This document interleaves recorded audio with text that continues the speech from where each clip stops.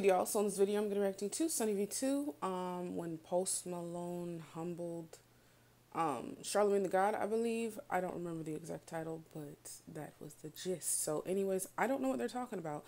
I honestly didn't watch the um, Breakfast Club like that. I did at one point in my, like, when I was like a freshman in college, just because during the drive, I didn't watch it, but I would just like listen to it on the way to school.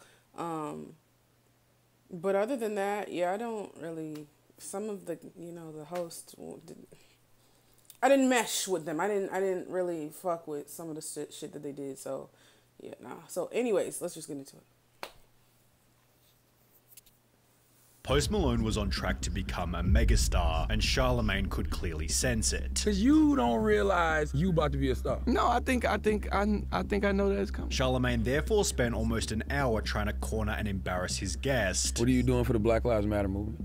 I don't know. Although the whole situation completely backfired to Post Malone's benefit. It was August of 2015. Post Malone was yet to get his first tattoo and had just six months prior released his major breakout song White Iverson. He'd done his first radio interview exactly four months beforehand, which went extremely oh, well. I put out White Iverson like two months ago. We just hit two million views like a couple days ago, which is crazy. And to keep this momentum going, he'd agreed to appear on The Breakfast Club. The show is well known for being the most listened to hip hop and R&B morning show in America and features three hosts, one of which being Charlemagne the God, who to be fair is usually an excellent presenter. The Breakfast Club has hosted almost every rapper from Kanye West to Jay-Z, making it a massive opportunity for any up and coming artist, which in this case was Post Malone. We are the Breakfast Club, special guest in the building. State your name, soldier. Post Malone. Malone. Post Malone. The interview began extremely positively, with Post and Charlemagne bonding over their support for the same football team. He is from Dallas and he's a Dallas Cowboys fan. My guy. Yeah. And I tried my hardest. Yeah. However, when Post revealed his dad also worked for the Cowboys, Charlemagne's rudeness began to show. His dad actually used to work for the organization. What was he, water boy? He does. He still works for What the did he organization. He's like head of concessions. See, I said I said water boy. That's like kind of. No, he he like he, What he, he in the playing for, man? office. He's What in the you mean, head office. He's in the office, man. office. Laughing at his dad's respectable job is mad disrespectful. The shit that pissed me off more than anything was when they were basically laughing at Post Dad's concession job. Like, sorry Which is like, it's a fucking job. Will y'all not understand this shit? I mean, okay, we could draw the line some places to like what's like. But I'm just saying, it's a concession shop. It's not like it's no crazy shit, like whatever. sorry his dad works a respectful job and ain't no drug dealer, would have walked out right then and there. Right, some of them people you be having on that show be just like, you know, they be they be contributing to the opioid problem in America, and, and motherfuckers be okay with that. Uh, might be thieves or R worders or stuff like that. I don't know. I, I just that was a weird thing to like like almost like try to big boy somebody. Like I don't know. Charlemagne, head of concession for a professional sports teams is a high level job. They aren't watching over a high school cafeteria. Post Malone responded to Charlemagne's rudeness by kindly inviting him to a Cowboys game. You know, we get free tickets. We get free chicken strips. free hot dogs. It's good. So he gets free tickets. Yeah. That's important. Good seats. Yeah, sweets. Sweet. Come on, let's go. To which Charlemagne responded by insulting Post Malone's look. FYI, I think all white people with cornrows look stupid, but that has nothing to do. With, No, nothing cool. to do with you. I just think in general. With this then resulting in an awkward confrontation about the color of Posty's skin. Are you afraid as a white rapper that you may uh, be considered a culture vulture? I don't think so. I'm not scared. I'm not scared because I'm not trying to be anybody that I'm not. I'm just I'm just trying to, you know, I like what I like and and, and I don't think I'm biting off of a certain culture or copying a certain culture or trying to be part of a certain culture because you know, I like what I like. Charlemagne then tried to trick Post into saying the N word. Say my don't dance. Hey. Hey. Just pull a say. Go ahead. And do the rock away. No, say the, my, what I just said. My I don't can't. dance. And it's weird, isn't it weird though? Like it's he's weird. Like he's just weird. And that's why he got his ass beat. Who run up on him? I saw the video. Mofos found his ass and ran the fuck up on him and he's weird, bro.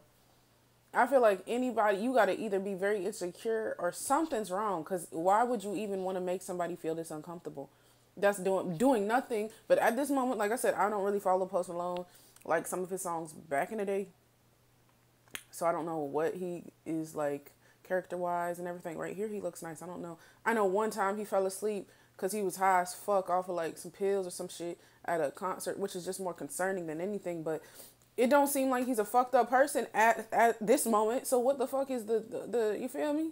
Why is they pressing this motherfucker? Y'all trying to get me in trouble. Before hitting him with another loaded question designed to damage Post Malone's image. What are you doing for the Black Lives Matter movement? what? I don't know. Is that a serious question?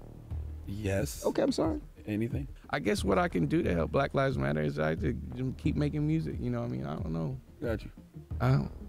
I don't know. I would have just said I, nothing. What are you doing for the Black Lives Matter movement? That's He's the type weird, of question you know that no matter how you answer this dude trying to hate you, however, the worst of the interview was still yet to come. Post Malone had brought his girlfriend Ashlyn onto the show, prompting Charlemagne to try and baselessly convince her that Post was going to leave her. You got a girlfriend, don't you? Yeah, yeah, she's right, right there. here. What? Ashlyn right here. Yeah, she's right Oh, hey Ashlyn. You know he's gonna end up leaving you, right? The oh, more Oh, don't famous say you that. get. That's not true. You know, you know, you know, the more successful you get, you're going, to you know. Charlemagne then doubled down on this when his girlfriend got on the microphone. You know he's gonna sleep with other women, though. You do know that. You're, uh, he's gonna sleep with other women. No, I'm not. It's gonna happen. But Ashlyn. Charlemagne said not only is he going to get urban Punani, he's going to be folk, country, Yes. pop, Yes. urban AC. Yes. A man is only as faithful as his options. You know that, right? You know that. What? A man is only as. That's not fucking true, bro. But like I said, I guess.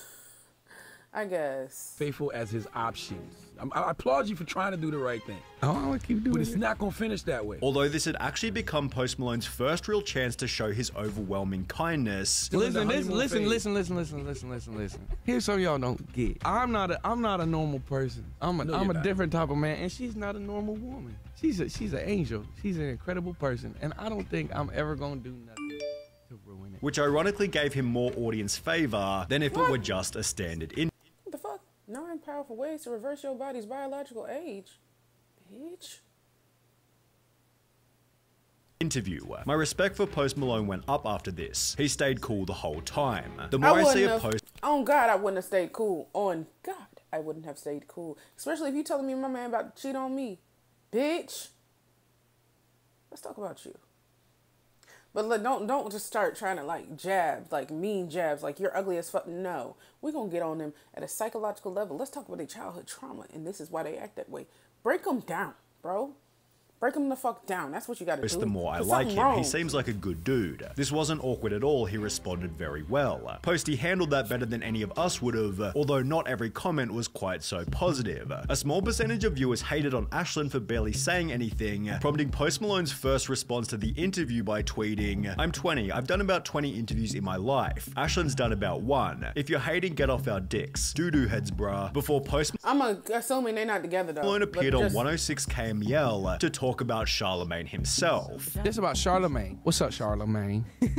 Oh, me. Holla at me. Ooh, say it to my face. I'm just joking. He's so stupid. I mean, I get it. I mean, that's his job. I mean, that's his job to be a troll on the radio and on the internet. I will say you handled that very No, that's what I'm saying. You know, um, you can't you can't get too excited. Just gotta relax. It's not that serious. Post Malone expanded on this when talking to Ethan from the H3 All right, podcast. what's, what's this? What is this air? kind of came at It's you in a really shitty way. I think it's really easy to come at me. Just a guy that makes music, and I not only that, but I feel like it's his job to be a troll. He should have said something like, "If you're in that situation, it's a hell of a lot different." Of And course. the internet's a funny place. Yeah. Yet Post Malone later explained in a Rolling Stone article uh, that it might have been better to put the questions back onto Charlemagne. I wish I'd said, What are you doing for Black Lives Matter? Some sassy shit to shut him up. Like, maybe my music's not the best, but I know I'm not a bad person, so you're just being a hater. Charlemagne Yeah. being a hater made the Breakfast Club look so bad, they'd wiped the episode from their official channel and website, while Posty's humility opened up unexpected opportunities. He began touring with Justin Bieber, had an extremely successful debut album launch, and gained over a million Instagram followers, prompting the You Breakfast see, Club to you see, you see,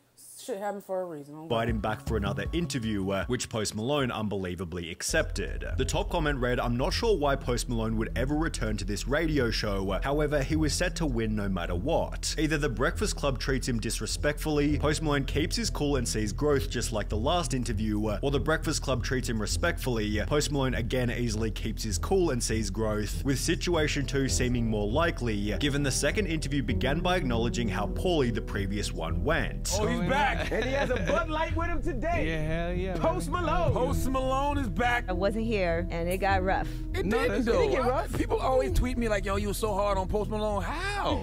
we had a conversation. Well, you did say that he was gonna lose his girl, but she's And she's still here. However, Charlemagne's jealousy had only gotten worse, What's the hardest thing? Is it like the stardom? Is it the money? Is it the fame? resulting in him instantly trying to sabotage Post's relationship with Justin Bieber. he got mad girls in the studio, Oh yeah, I'm sure. Mad drugs, Oh, mad stop. alcohol. Just a little You never weed been over there? probably. Oh, oh, in the studio? Yeah, yeah, yeah. Oh no, I mean not really. You never been in the studio with him with a bunch of No, girls? yeah, I mean not really. This man eats salmon three times a day, and uh, apparently that's very good for you. Apparently.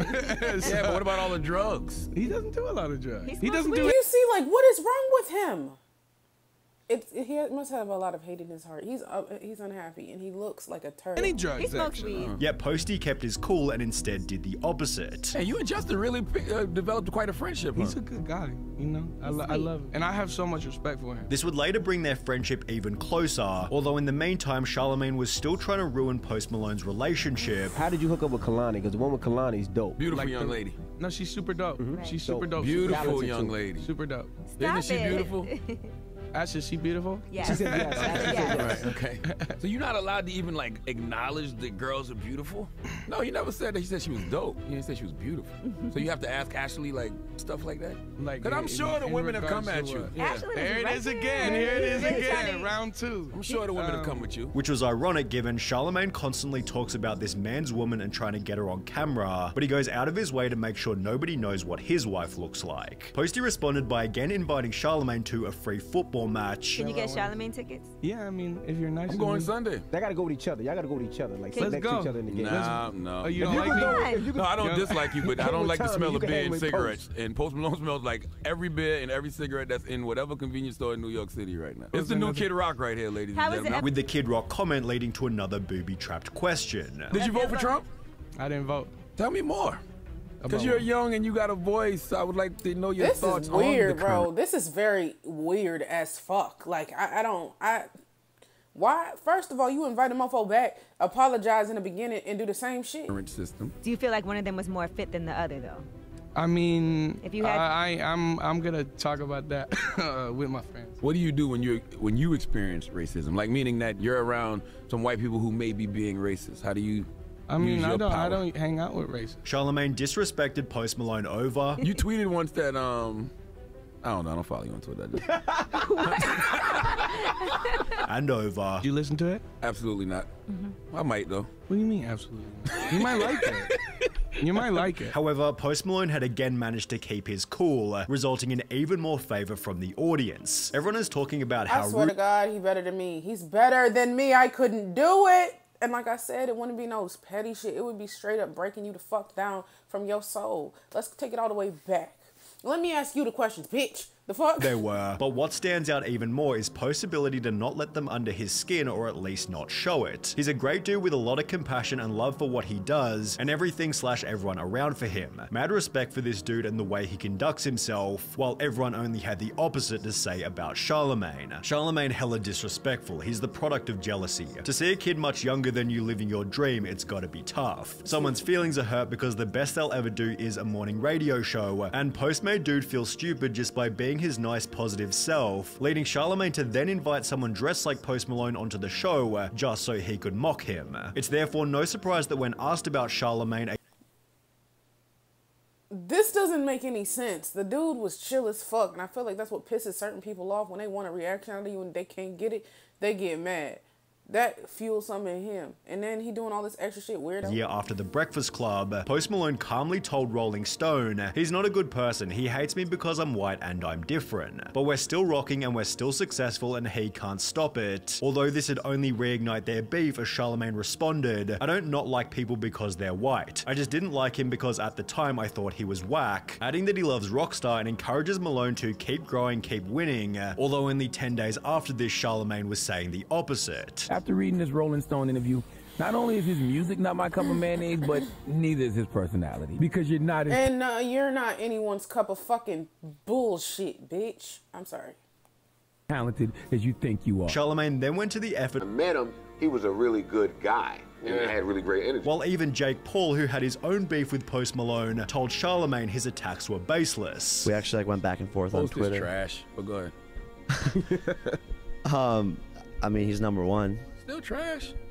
You can be number one and still be trash. Numbers don't lie, bro. He's trash, bro. Numbers do lie sometimes. Numbers don't tell a whole tale. All right, well, He doesn't like posts, as you can see. Damn, Jake Paul actually taking a W, and so was Post Malone in his own lane of music. Beer Bongs and Bentleys released just four months after the Jake Paul interview, uh, peaked at number one on every chart in every country, uh, while Hollywood's Bleeding performed equally well, uh, turning the Breakfast Club interviews into an insignificant chapter in Post Malone's come up. Charlemagne, however, still hadn't moved on over two years later. You gotta kick two people out right now. You trying to kick out the rap game because you you real critical about rap. Yeah. Post Malone. Although it finally showed that he'd been somewhat humbled, Post Malone, definitely though, and, and for no other reason other than I just probably I'm probably hate. which could also be felt during a Vlad TV interview. I'm cool, clearly, with white people being in hip hop. Just Why are we talking about this so damn much, bruh? Like, what the fuck? why you're here. You're here because of these people that laid the foundation for you to even have the platform of hip hop to stand on. One of Charlemagne's most I mean, I feel it, but even like some of the songs that he made, like White Iverson,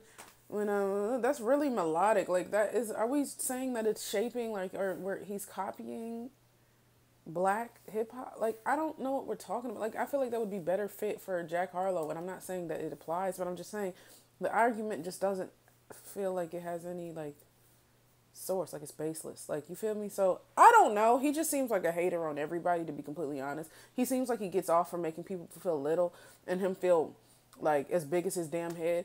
And i just don't think that's cool at all. I feel like you a fucked up person if you feel like that. So it's what it is though. But anyways y'all like comment subscribe oh wait fuck. respectful and entertaining traits is that he sticks to his guns and refuses to be a pushover, although in this case he probably should have made an exception. Just don't be a dick because like dicks get places, but then like at the end of the night, you Okay. I, I don't know where we, we, we were going with that. But yeah, he just seems really like fucked up as an individual. Like I said, this isn't the only time I've seen him in multiple, countless videos, not just with white artists, not just with men, but with females, black females, white. It, he just seems like a fucked up person. I'm not to lie. It seems like he's a miserable. On God, because you do know your, your your questions aren't fueled by shit like that when you aren't miserable. To be honest, when you're trying to embarrass people, you know the shit is online. You know the shit is forever and it's just you know it's just fucked up. So anyways now is the end. Y'all like comment subscribe follow me on instagram follow me on tiktok. I'll see you on the next one